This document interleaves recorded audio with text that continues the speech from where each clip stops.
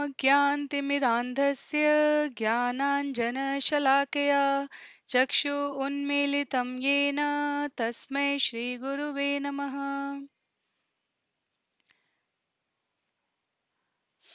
नमः ॐ विष्णुपादाय कृष्णपृष्ठाय भूतले श्रीमते भक्तिवेदान्त स्वामिन् इति नामिने। नमस्ते सरस्वते देवे गौरवाणी प्रचारिणे, निर्विशेष शून्यवादी पाश्चात्यदेशतारिणे जय श्री कृष्ण चैतन्य प्रभु नित्यानंद श्री अद्वैत गदाधर, श्रीवासादि गौर भक्तवृंद हरे कृष्ण हरे कृष्ण कृष्ण कृष्ण, हरे हरे हरे राम हरे राम राम राम, हरे हरे। हरे कृष्णा, आप सभी का स्वागत है शील प्रभुपाद लीलामृत के इन सत्रों में, जहाँ श्री सत्स्वरूप दास गोस्वामी जी द्वारा लिखित पुस्तक शिल प्रभुपाद लीलामृत के माध्यम से हम शिल प्रभुपाद के जीवन चरित्र की उनकी अध्यात्म की, सनातन धर्म के प्रचार प्रसार की, कृष्ण भावनामृत के इस आंदोलन को विश्वव्यापी बनाने के प्रयास की यात्रा को हम सुनकर, पढ़कर, मनन करते हुए ग्राह्य बिंदुओं को अपने जीवन में आचरण में ला सके। इनके, इसके लिए इन सत्रों का आयोजन करने का ये विनम्र प्रयास किया गया है।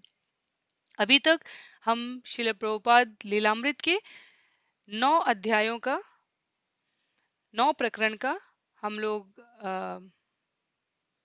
पठन कर चुके हैं, श्रवण कर चुके हैं और प्रकरण दस, जिसका नाम था आवश्यकता की यह महत्वपूर्ण घड़ी, पिछले सत्र में हमने इसका एक भाग देखा और आज हम इसके दूसरे भाग को देखेंगे। तो आज सत्र 24 में प्रकरण 10 आवश्यकता की यह महत्वपूर्ण घड़ी। इसमें हम पिछले सत्र की संक्षिप्त पुनरावृत्ति करते हुए आगे शील सत्स्वरूप दास गोस्वामी जी द्वारा लिखी गई ये पुस्तक के पंक्ति दर पंक्ति घटनाक्रम को समझने का प्रयास करेंगे। तो संक्षिप्त में जो आवश्यकता की महत्वपूर्ण घड़ी थी, ये श्री प्रभुपाद के अमेरिका जाने से बिल्कुल पहले के कुछ वर्षों की घटनाओं की एक झलकी हमें यहाँ पर प्रस्तुत करा रही है। क्या केशी घाट पर रहने वाले शिल प्रभुपाद को राधा दामोदर मंदिर में रहने के लिए जो प्रमुख महंत है, उनके द्वारा आमंत्रित किया जाता है। पर वहाँ के कमरों में, जिस कमरे में उन्हें रहने के लिए कहा गया, उसकी व्यवस्था देखकर श्री प्रभुपाद ने अनुमान लिया कि लगभग पाँच सौ रुपए की आवश्यकता रहेगी इसकी मरम्मत कराकर, इसमें वास करने के लिए। लेकिन क्योंकि राधा दामोदर मंदिर में 2000 से अधिक मूल प्रतिलिपियाँ थी हमारे पूर्ववर्ती आचार्यों की, श्री प्रभुपाद ने वो जगह अपने लिए सुरक्षित कर ली पाँच रुपए के प्रति महीने के अनुदान पर। इस विचार से कि जिस प्रकार से धन आता रहेगा, वो इसकी मरम्मत करा के फिर यहाँ निवास करते हुए उनके लिए श्रीमद् भागवत और अन्य ग्रंथों की रचना करना अपने गुरु के आदेशों का पालन करने के लिए ये जो रूप गोस्वामी जी का निवास स्थान रहा है, इस स्थान को, इस स्थान पर रहने की अपनी महत्ता है, ये विचार करने मात्र से उनको जो प्रसन्नता हुई, उन्होंने उस स्थान को अपने लिए सुरक्षित कर लिया। पर उनके गुरु महाराज ने हमेशा कहा था कि बड़े प्रचार अभियान कार्य के लिए आपको बड़े नगरों में जो संसाधन उपलब्ध है, उनका प्रयोग करना ही रहेगा।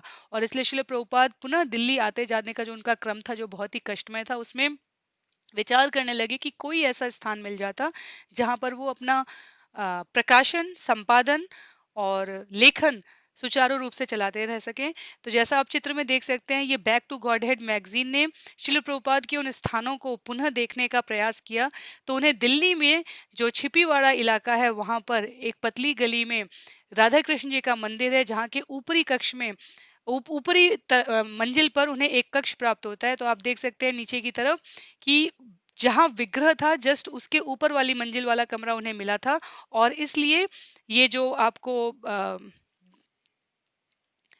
नीचे की तरफ़ आपको दिख रहा है ये वो स्थान है जहाँ अब निर्म निर्माण करके शिल प्रभुपाद का ऊपर यहाँ पोस्टर लगा हुआ है तो ये छिपीवाड़ा राधा कृष्ण मंदिर का वो ऊपरी वाला मंजिल है। ये राधा प्रेस है जहाँ पर शिल प्रभुपाद की back to God head magazine जहाँ पर उनकी easy journey to other planet इन पुस्तकों का प्रकाशन हुआ था। ये कृष्ण शास्त्री जी हैं जिन्होंने जो कि कोट पहनते थे टोपी लगाते थे नेहरू टोपी जो विश्व प्रसिद्ध हो चुकी थी उस समय और अवैतनिक रूप से शिल प्रभुपाद की मैगजीन में आ, किस प्रकाशन में वो अपनी तरफ़ से जो भी वो सहयोग कर सकते थे स्वैच्छिक रूप से वो सहयोग प्र, प्र, प्रदान करते थे। तो ये क्योंकि ये अध्याय दिल्ली में निवास करते हुए शिल प्रभुपाद ने किस प्रकार से आध्यात्मिक आंदोलन को गति प्रदान की उसके बारे में है तो सत्र को आगे बढ़ाते हुए हम उसको अब श्री सतस्वरूप दास गोस्वामी जी की पंक्ति से पढ़ने का प्रयास करेंगे पंक्ति दर पंक्ति।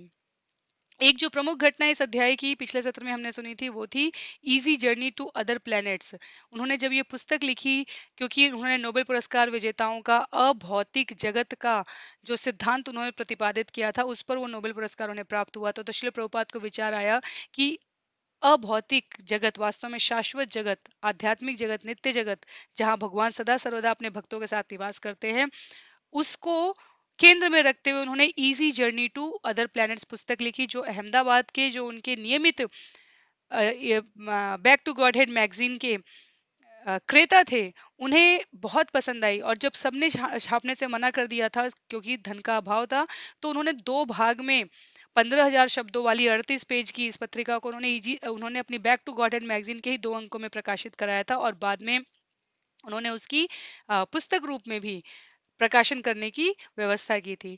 तो रह कहने के लिए, देखने के लिए भौतिक अभावयुक्त जीवन जीते हुए शिल प्रभुपाद का आध्यात्मिक जो उन्नत मानसिकता था, जो विकास था, वो अब गति पकड़ रहा था। और इस गति पकड़ने के प्रयास में सतस्वरूप दास गोस्वामी जी लिखते हैं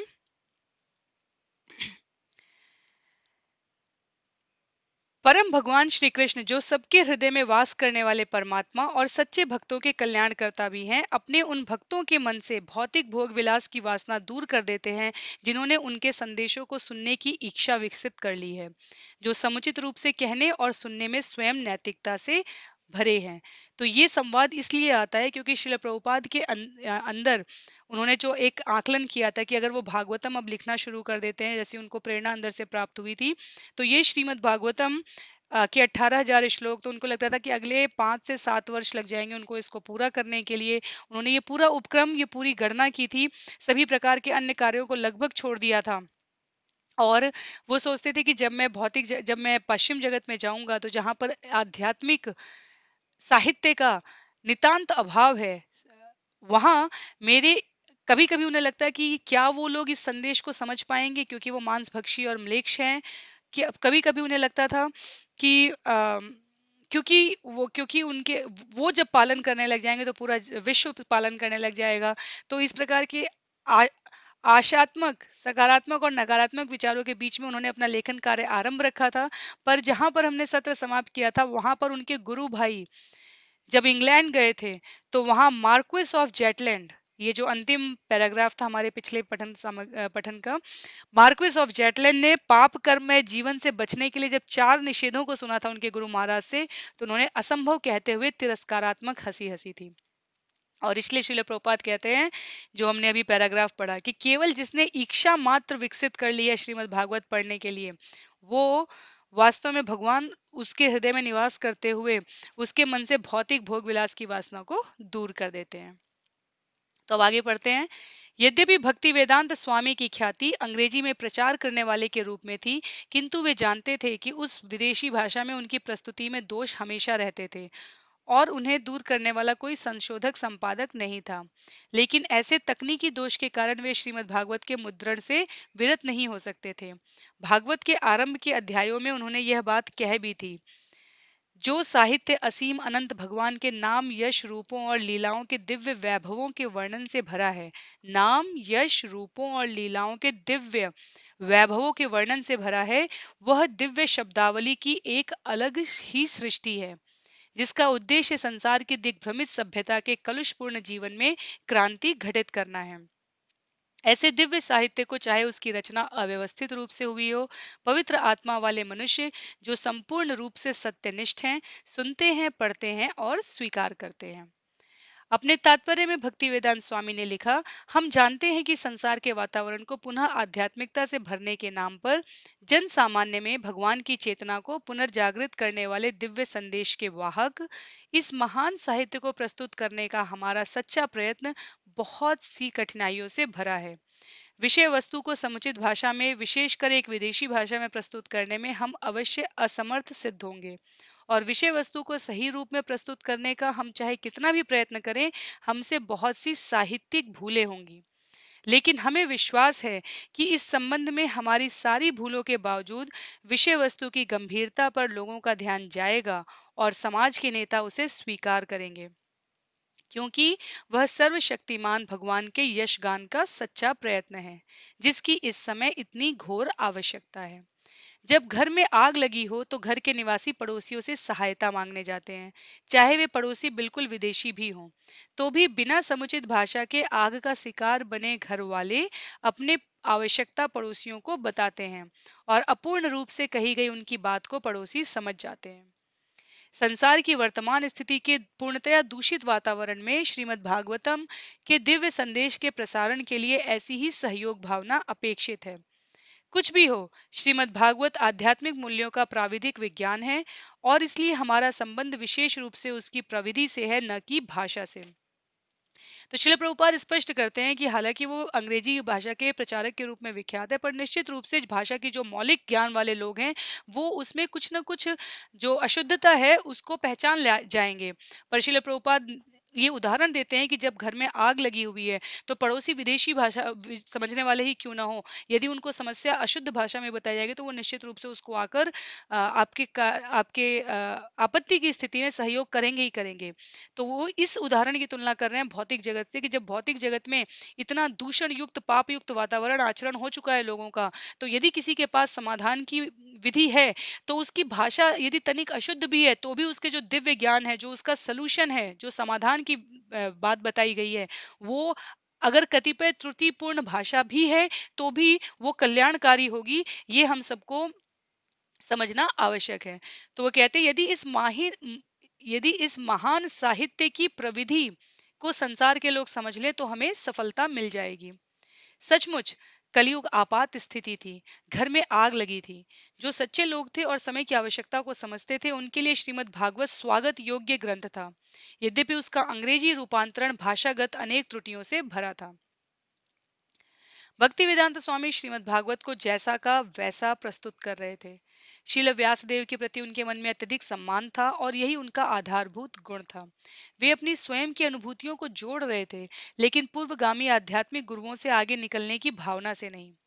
नितांत परंपरा के अनुसार विषय वस्तु को प्रस्तुत करने की जो सर्व महत्वपूर्ण बात थी, उसमें भक्ति वेदांत स्वामी को कोई भी कठिनाई, त्रुटिपूर्ण, अपूर्ण, भाषिक प्रविधियों के कारण नहीं हुई। अर्थात अर्थात भाषा की भाषा की अगर तनिक अपूर्णता थी। तो शिल प्रभुपाद ने जो मौलिक गुरु शिष्य परंपरा से प्राप्त ज्ञान है, उसके साथ कोई समझौता नहीं किया उस ज्ञान को प्रस्तुत करने में। श्री सतस्वरूप दास गोस्वामी आगे लिखते हैं। वे जानते थे कि परंपरा के बिना भागवत के तात्पर्यों का कोई मूल्य नहीं होगा। डेस्क के सामने बैठे वे दिन रात टाइप करने में लगे रहते और छत से लटकते तार में बंधे छोटे लैंप को ज़रूरत के अनुसार घुमा फिरा लेते। वे एक पतली चटाई पर बैठते थे और उनकी पीठ पिरामिड की ओर होती थी, जो उस साज सज्जा हीन कमरे में सीधा खड़ा था। पन्ने पर पन्ने इकट्ठे होते जाते थे और पत्थरों से दबाकर वे उन्हें अपनी जगह पर रखते जाते। भोजन और निद्रा यद्यपि दोनों आवश्यक थे, उनके लिए आकस्मिक थी। उन्हें पूरा विश्वास हो गया था कि उनका श्रीमद् भागवत दिग्भ्रमित सभ्यता में क्रांति उत्पन्न कर देगा।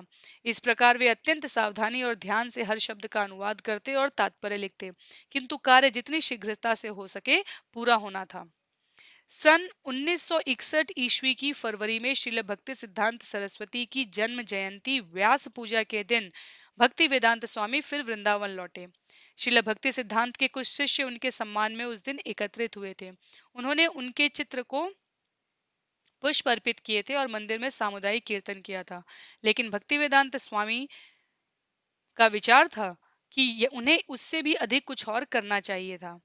उन्हें विश्वव्यापी प्रचार आंदोलन की योजनाएँ बनानी और उनको कार्यान्वित करना चाहिए, जैसे कि भक्ति सिद्धांत सरस्वती की इच्छा थी। उसके स्थान पर वे स्वतंत्र व्यक्तियों की भांति इकट्ठे हुए थे।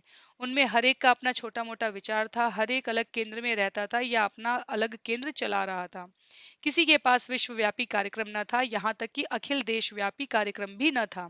अपना जीवन यापन करने के अतिरिक्त उनमें से अधिकतर के पास न कोई योजनाएँ थी और न ही दूरदृष्टि। भक्ति वेदांत स्वामी चाहते थे कि उनके आंदोलन का संचालन करने के लिए कोई शासी मंडल हो, किंतु शासी मंडल जैसी कोई चीज़ नहीं थी और यहाँ तक कि आंदोलन जैसी कोई चीज़ भी नहीं थी। जिन लोगों में पहले घोर संघर्ष हुए थे, अब उनमें बातचीत शुरू हो गई थी। उन्हें डर था कि अचानक संस्थागत प्रयत्नों की बात होने पर ऐसा न हो कि उनके बीच के पुराने विद्वेष फिर जाग उठे। अभी इतना तो था कि कम से कम वे एक स्थान पर एकत्रित हो गए थे और अपने आध्यात्मिक गुरु को एक साथ श्रद्धा, सम्मान अर्पण कर रहे थे। तो यदि हमें स्मरण हो तो 1937 से ही मठ में आग लग चुकी थी श्रीला प्रभुपाद श्रील भक्ति सिद्धांत सरस्वती जी के शरीर रूप से लीला तिरोधान करने के पश्चात। दो गुट बन चुके थे, दोनों गुट अपने आप को सर्वे सर्वा बताते थे, संपत्तियों का स्वामित्व धारण करने की बात करते थे, लेकिन शिल भक्ति सिद्धांत सरस्वती जी ने जो 12 सदस्यीय शासी मंडल बनाकर योजनापूर्ण तरीके से विश्वव्यापी कृष्ण भावनामृत चेतना के प्रचार प्रसार के आंदोलन पर ज़ोर दिया था, उसकी कहीं कोई बात नहीं थी। तो अब कुछ वर्षों के पश्चात करीब करीब ये हम देख रहे हैं कि पच्चीस से अट्ठाईस वर्ष बाद उन्नीस सौ इकसठ की बात की जा रही है। 1937 से लेके इकसठ। तो ये करीब करीब 20-30 वर्षों के पश्चात अब कम से कम वार्ताएँ तो आरंभ होने लगी थी। इसलिए कोई भी किसी स्थायी शासी सत्ता की बात नहीं करता था कि ये पुनः किसी प्रकार से फिर से भ्रमित ना हो जाए। उनमें फिर से विलगाव न उपस्थित हो जाए। अपने गुरु भाइयों के बीच भक्ति वेदांत स्वामी एक कनिष्ठ सन्यासी थे। यद्यपि लेखक और संपादक के रूप में वे मान्य थे, लेकिन उनका कोई मंदिर या कोई अनुयायी नहीं था, और तब भी वे जानते थे कि वे भक्ति सिद्धांत सरस्वती के अनुगमन का प्रयत्न कर रहे थे। माया की विशाल शक्तियों के विरुद्ध उन्होंने अपने को असहाय और अकेला पाया। उनके गुरु भाई माया की इन शक्तियों के विरुद्ध एक संयुक्त सेना जैसे नहीं थे।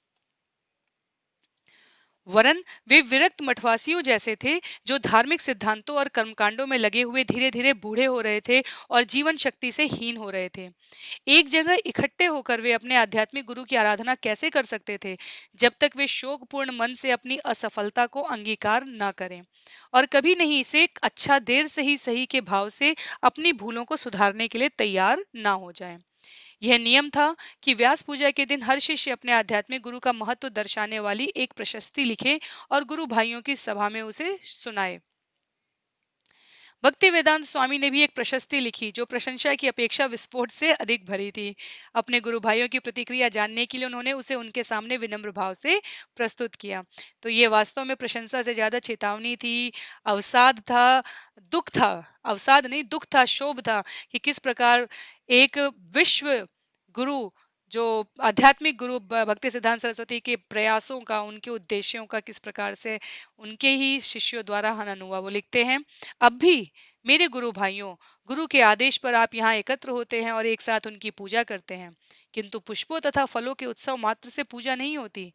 जो गुरु के संदेश का वाहक होता है, सच्चा पुजारी वही है। कितनी लज्जा की बात है मेरे बंधुओं। जिस व्यापारी ढंग से आप शिष्य समुदाय बढ़ाते हैं, क्या उससे आपको घबराहट नहीं होती? हमारे गुरु का आदेश था, प्रचार करो, नए शिष्यों को मंदिरों में रहने दो और उन्हें केवल घंटियाँ बजाने दो। किंतु जो भयानक स्थिति उत्पन्न हो गई है, उस पर ध्यान से दृष्टिपात करो। हर एक इंद्रिय सुख में लीन हो गया है और हर एक ने प्रचार कार्य छोड़ दिया है। सागर पृथ्वी के आर पार ब्रह्मांड को भेद कर एक हो जाओ और इस कृष्ण भावनामृत का प्रचार करो, तभी हमारे आध्यात्मिक गुरु की उपयुक्त सेवा होगी। आज वचन दो, राजनीति, कूटनीति का त्याग करो। यदि भक्ति सिद्धांत सरस्वती के शिष्य एकजुट होकर प्रचार कार्य में लग जाएँ, तो इस बात की पूरी संभावना थी कि वे इस पाप में संसार में आध्यात्मिक क्रांति ले आते। शिल भक्ति सिद्धांत सरस्वती को ऐसी ही आशा थी और श्री और भक्ति वेदांत स्वामी ने उस आशा को व्यास पूजा की अपनी प्रशस्ति में अभिव्यक्त किया। वह दिन कब आएगा? जब एक मंदिर की स्थापना होगी हर घर में, दुनिया के हर कोने में। कब उच्च न्यायालय का न्यायाधीश एक गौड़ी वैष्णव होगा, सुंदर तिलक से सुशोभित ललाट वाला।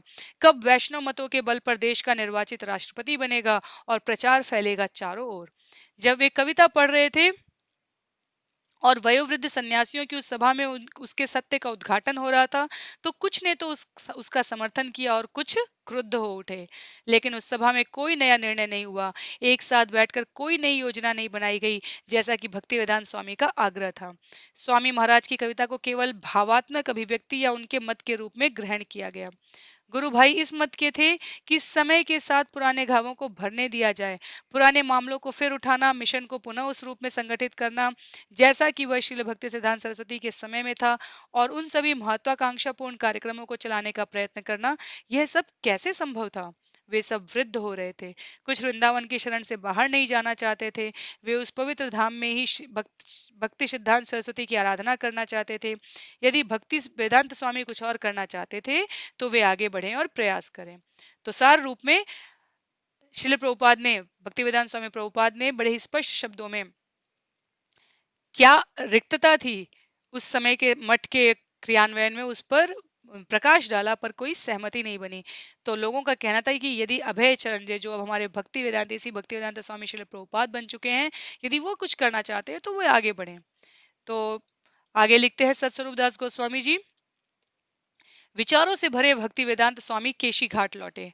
पारिवारिक प्रतिबद्धताओं के कारण वे कई वर्षों से मिशन के कार्यकलापों में महत्वपूर्ण भूमिका नहीं निभा सके थे। सन 1935 में बंबई में उनके गुरु भाइयों ने उनसे मठ का अध्यक्ष बनने को कहा था, लेकिन भक्ति सिद्धांत सरस्वती का कहना था कि यह ज़रूरी नहीं कि अभय चरंडे उनके साथ सम्मिलित हो, उन्हें अपने ढंग से उसमें आने देना चाहिए। अब अपने आध्यात्मिक गुरु के अनुग्रह से वे संन्यास को यथार्थ करने को तैयार थे।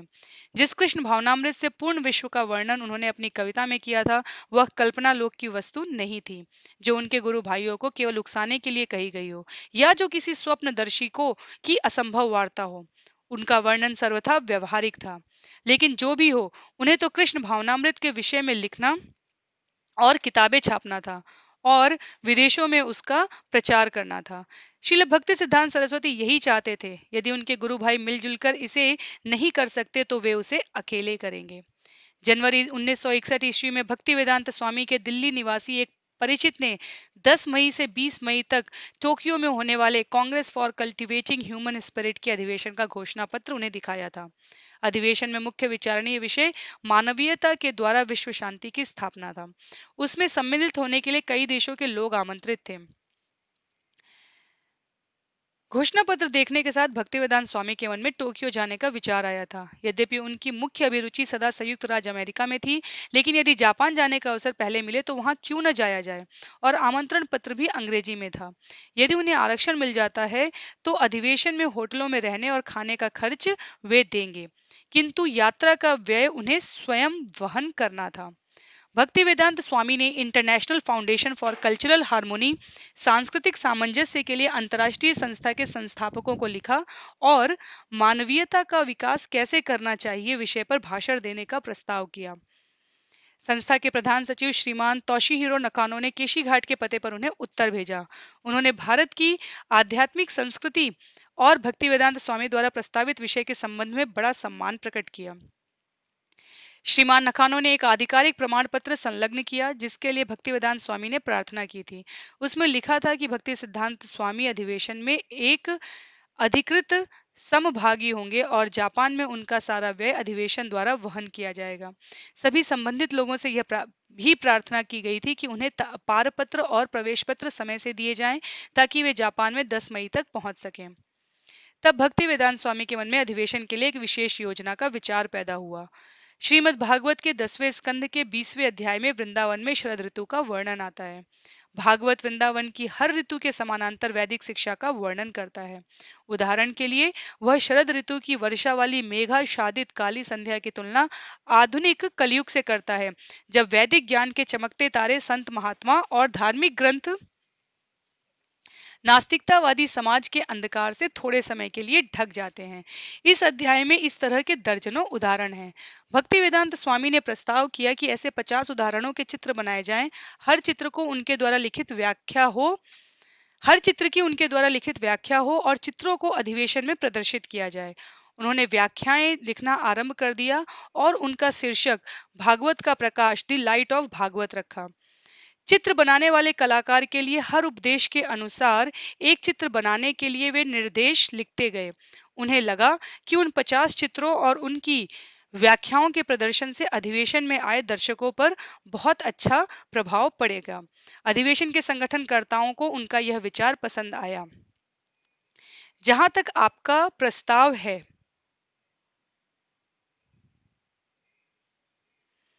जहाँ तक आपका यह प्रस्ताव है कि आपके निर्देशानुसार आपकी व्याख्याओं पर चित्र बनवाए जाएँ, तो आपकी व्याख्याओं के कुछ नमूने प्राप्त होते ही कलाकारों की नियुक्ति के बारे में हम विचार आरंभ कर देंगे। इसलिए हमें यथाशीघ्र आपके निर्देश प्राप्त हो जाने चाहिए। भक्ति वेदांत स्वामी तेज़ी से कार्य करने लगे। उन्होंने बीस हज़ार शब्दों की पांडुलिपि तैयार की, पचास पाठ, पचास चित्रों के लिए।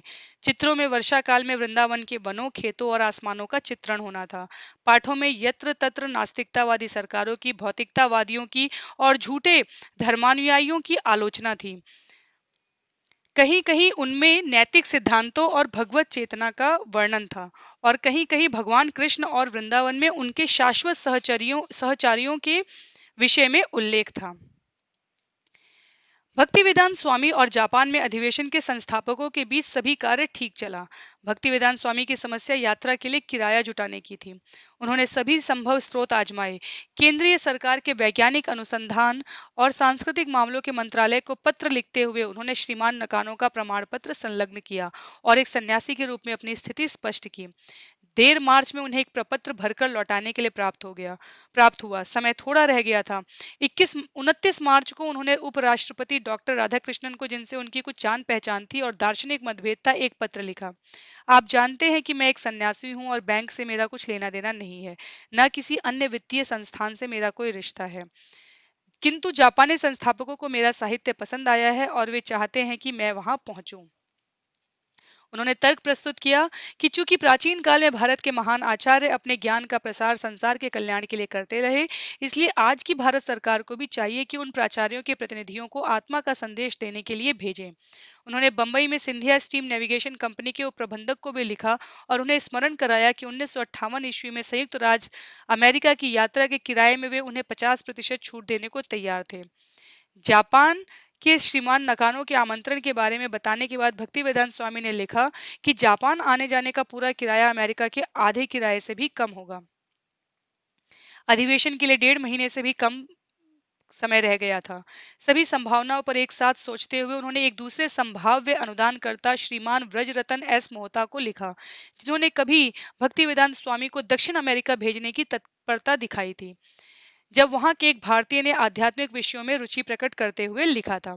उस समय भक्ति वेदांत स्वामी को भारत सरकार से समुचित प्रमाण पत्र प्राप्त नहीं हो सका था। किंतु अब उन्होंने लिखा कि इस समय रुचि रखने वाले लोगों की अंतर्राष्ट्रीय सभा में वैदिक साहित्य के संदेश को प्रस्तुत करने का नया अवसर था और जापान की यात्रा की टिकट भी दक्षिण अमेरिका की टिकट से कम थी।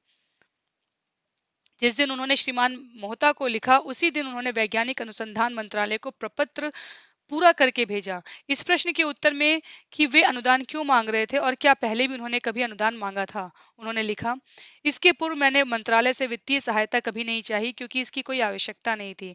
एक सन्यासी के रूप में मैं वित्तीय सहायता तभी मांग सकता हूँ जब मुझे उसकी अनिवार्य आवश्यकता हो। हमारा जीवन इस बात के लिए समर्पित है कि हम प्रसुप्त आध्यात्मिक चेतना को जागृत करके समस्त मानवता की सेवा करें। इस बीच वे जापान के पूरे सहयोग से अन्य सारे प्रबंध करते रहे। भागवत प्रकाश के पहले बीस सोदाहरण विचार चित्रण के लिए उन्होंने श्रीमान नकानो को भेज दिए थे। उन्होंने लिखा कि जापान कलात्मक कार्यों के लिए प्रसिद्ध है और भारत अपनी आध्यात्मिक संस्कृति के लिए विख्यात है। हमें अब एकजुट हो जाना चाहिए। उन्होंने सुझाव दिया कि विचारों और चित्रों को पुस्तक के रूप में भी प्रकाशित किया जाए। श्रीमान नकानो ने भक्ति वेदांत स्वामी को विश्वास दिलाते हुए लिखा कि वे सब हनेडा हवाई अड्डे पर उनकी प्रतीक्षा में रहेंगे। उन लोगों को पहचानना आसान होगा क्योंकि वे एक पताका लिए होंगे और यदि भक्ति वेदांत स्वामी चाहें तो वे जापान में एक पूरे महीने तक रह सकते हैं और नियुक्त अधिवेशन के बाद स्थानीय सभाएँ कर सकेंगे। श्रीमान नकानो ने भक्ति वेदांत स्वामी से एक प्रार्थना और की। वह यह थी कि वे जापान के तीन नगरों के मेयरों से संबंध दृढ़ बनाने के लिए उन्हें लिखें कि आध्यात्मिक अधिवेशन को वे पूरा सहयोग दें। भक्ति वेदांत स्वामी ने यह कार्य किया। लेकिन अब अप्रैल आ गया था और धन कहीं से नहीं आया था। अंत में डॉक्टर राधाकृष्णन से व्यक्तिगत रूप में मिलने और उनसे कोरा नकारात्मक उत्तर पाने के पश्चात भक्ति वेदांत स्वामी निराश होकर श्रीमान नकानों की ओर मुड़े। 18 अप्रैल को उन्होंने लिखा, आपका दिनांक 9 अप्रैल का पत्र प्राप्त हुआ। जो कुछ आपने मेरे प्रति लिखा है, उसके लिए मैं आपका आभारी हूँ।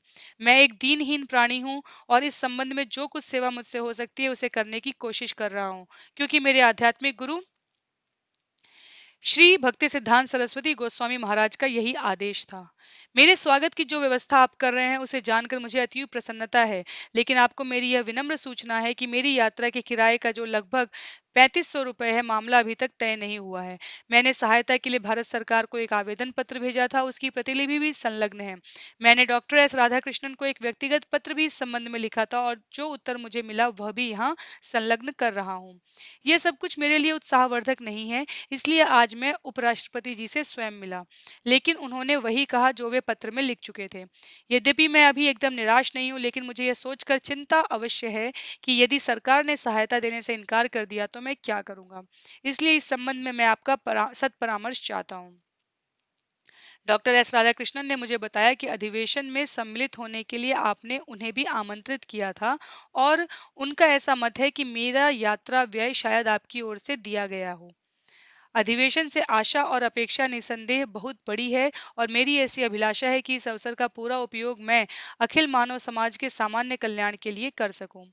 मैंने अपने विचारों को पूरी तरह से उन वक्तव्यों में अभिव्यक्त किया है, जो मैं आपके पास प्रकाशनार्थ भेज चुका हूँ। उन विचारों का सारांश मैंने मेयरों को भेजे गए पत्र में भी दे दिया है, जिसकी प्रतिलिपि भी यहाँ संलग्न है। सन्यासी होने के नाते मेरे पास खर्च के लिए धन नहीं है। ऐसी परिस्थिति में यदि सरकार ने यात्रा व्यय से देने से इनकार किया तो उसके लिए मुझे आपसे प्रार्थना करनी पड़ेगी, अन्यथा अधिवेशन में सम्मिलित होना मेरे लिए एक सपना बनकर रह जाएगा। राजनेताओं के व्यवहार में मेरा विश्वास नहीं है, विशेषकर भारतीय राजनेताओं के व्यवहार में। डॉक्टर एस राधाकृष्णन की बात से मुझे ऐसा लगा कि सरकार ऐसे अधिवेशनों का अनुमोदन नहीं करती जिनका संगठन लोग निजी तौर पर करते हैं और इसलिए सरकार ऐसे अधिवेशन में भाग नहीं लेती। मैं अंतिम निर्णय के लिए एक सप्ताह तक और प्रतीक्षा करूँगा जब तक हाँ या न के रूप में मामला साफ़ हो जाएगा। भारत में जिन लोगों से सहायता मिल सकती थी, उनकी ओर से इनकार आ गया। 20 अप्रैल को भक्ति सिद्धांत स्वामी ने श्रीमान नकानो को तार भेजा। क्योंकि आपका मुझसे गहरा प्रेम हो गया, इसलिए मैं आपको लिखने का साहस कर रहा हूँ कि जापान पहुँचने के लिए मेरी वित्तीय सहायता कीजिए। मेरे विचार से आप दिल्ली स्थित अपने दूतावास को तुरंत आदेश भिजवा सकते हैं कि आपकी ओर से मुझे जापान भेजने के लिए वह आवश्यक व्यवस्था करें। आपसे मिलने और कांग्रेस में शामिल होने की मेरी तीव्र इच्छा है, जिससे हम लोग आध्यात्मिकता के अनुशूलन के लिए एक मज़बूत संगठन बना सकें। अपना कार्यक्रम निश्चित करने के लिए मैं तार द्वारा आपके निर्देश की प्रतीक्षा करूँगा। किंतु श्रीमान नकानो सहायता नहीं कर सके और भक्ति वेदांत स्वामी के सारे प्रयत्न सपना बनकर रह गए। जुलाई उन्नीस सौ बासठ ईस्वी में भक्ति वेदांत स्वामी वंशी गोपाल जी मंदिर के अपने आवास को बदलकर राधा दामोदर मंदिर में चले गए। तीन वर्ष से वे राधा दामोदर कमरों के लिए पाँच रुपए प्रतिमाश की दर से किराया और उनकी व्यापक मरम्मत के लिए खर्च दे रहे थे। अब मुख्य कमरे में बिजली और पंखा लग गया था और दीवारों पर चिकना प्लास्टर और पेंटिंग हो गई थी। कमरा पंद्रह फुट लंबा, सात फुट चौड़ा था। दीवारों पर प्लास्टर हो गया था। फर्श विभिन्न आकार की चकोर बलुई पट्टियों से बना था। ठीक वैसी ही पट्टियों से जैसी रूप गोस्वामी की समाधि के सामने जड़ी थी। कमरे के सामान में एक छोटी सी नीची डेस्क थी, एक कुश की बनी चटाई थी और सोने के लिए लकड़ी के पाए पार्टियों वाली रस्सियों से बुनी एक चारपाई थी। कमरे से वैसा दृश्य नहीं दिखाई देता था जैसा कि केशी घाट से मिलता था। पास पड़ोस उतना शांत नहीं था, लेकिन अब अपने कमरे से बाहर जाए बिना भी वे मंदिर में झाँक सकते थे। और वेदी का कुछ भाग और उस पर विराजमान काले संगमरमर के बने चार फुट ऊँचे वृंदावन चंद्र नाम से विख्यात श्री कृष्ण के उस श्री विग्रह का दर्शन कर सकते थे, जिसकी आराधना सैकड़ों साल पूर्व कृष्णदास कविराज ने की थी। मुख्य कमरा दस फुट लंबे एक बरामदे द्वारा भोजनालय से जुड़ा था। जिसके सामने एक आँगन था और अपने भोजनालय से वे रूप गोस्वामी की समाधि देख सकते थे। इसलिए यह स्थान वंशी गोपाल जी मंदिर के आवास से अच्छा था, क्योंकि अब वे जीव गोस्वामी के मंदिर में रह रहे थे, जहाँ रूप गोस्वामी, सनातन गोस्वामी, रघुनाथ गोस्वामी और जीव गोस्वामी जैसे महान गोस्वामी एकत्र हो चुके थे, प्रसाद ग्रहण करते थे, भजन करते थे और कृष्ण और भगवान चैतन्य के विषय में चर्चा करते थे। श्रीमद् भागवत पर कार्य करने के लिए यह सर्वोत्तम स्थान था। रात्रि में एक बजे जब कोई भी न जागता होता और चारों ओर शांति रहती, तब भक्ति वेदांत स्वामी जग जाते और लिखने लग जाते। चूँकि वृंदावन में बिजली अक्सर चली जाती थी, इसलिए वह प्रायः लालटेन के प्रकाश में कार्य करते। प्रकाश की कुछ किरणें बाहर बरामदे में भी पहुँच जाती थी, जबकि वे उसके प्रकाश में कमरे के अंदर काम करते रहते।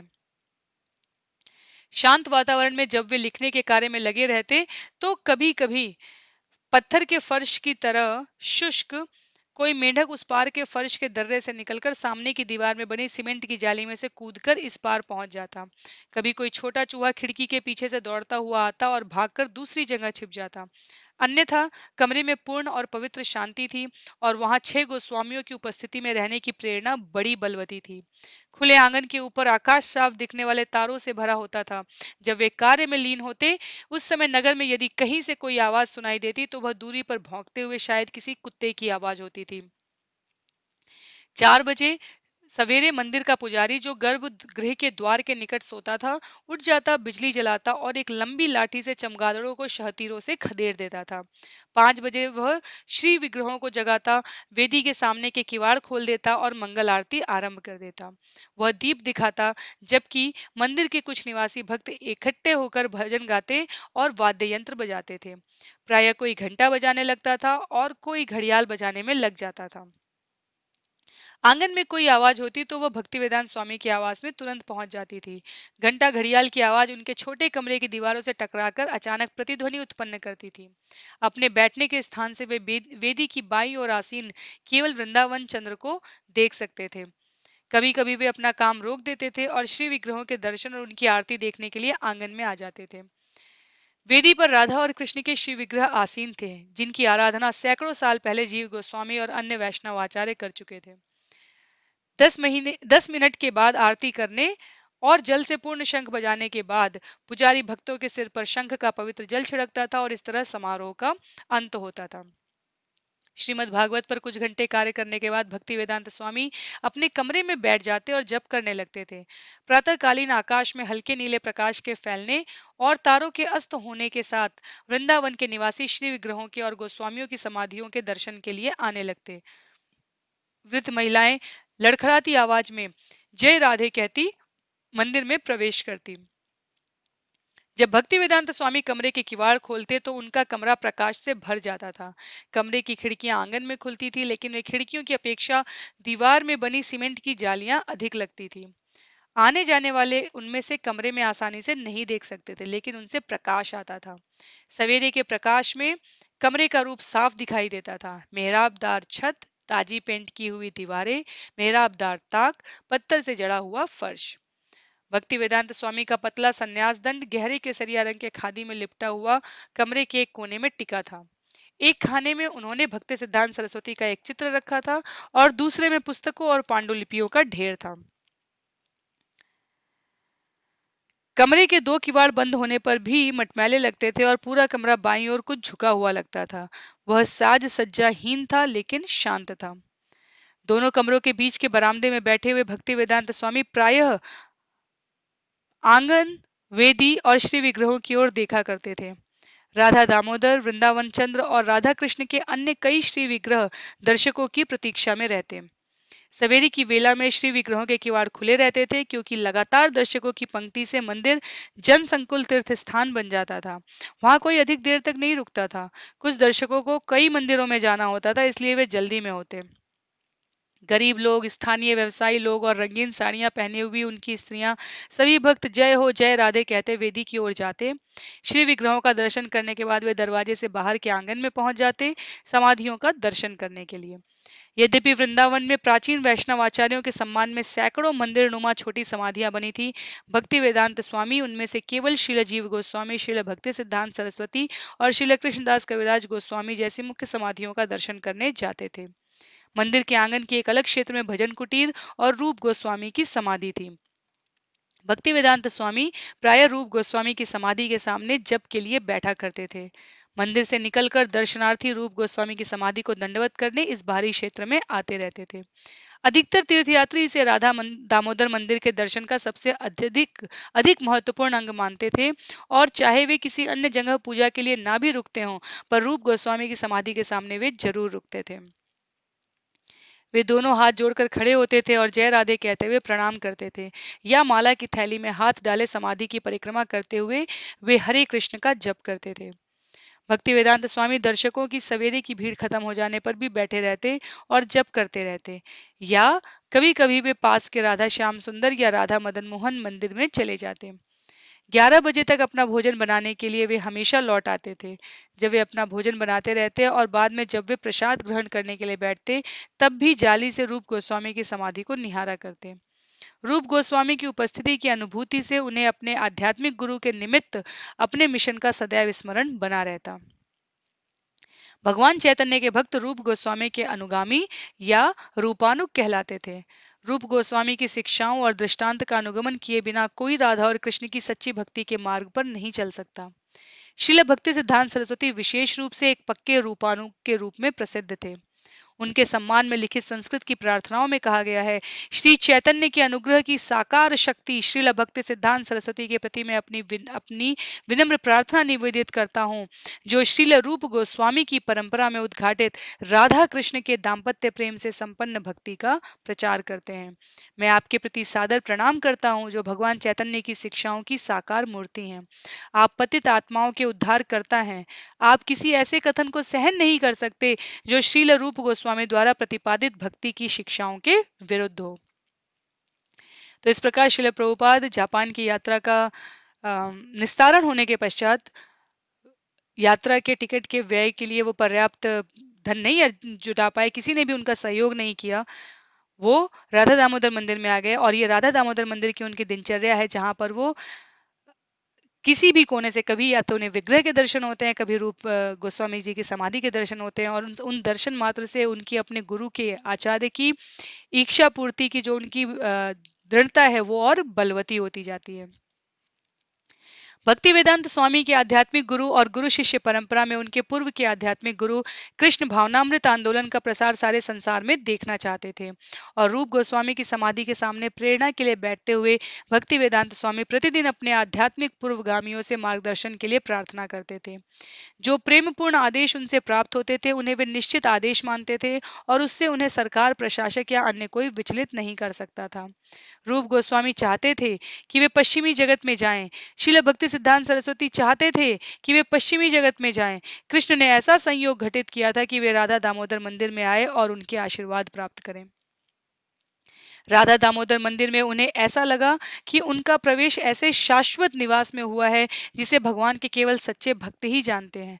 तो भी, यद्यपि वे उन्हें अपनी लीला भूमि में अपने साथ संबंधित होने का अवसर दे रहे थे, लेकिन उनका आदेश था कि वे राधा दामोदर और वृंदावन को छोड़कर पश्चिम को जाएँ और विस्मरणशील संसार को आचार्यों का संदेश सुनाएँ। जून में असहनीय गर्मी पड़ने लगी और दोपहर के बाद काम करना असंभव हो गया।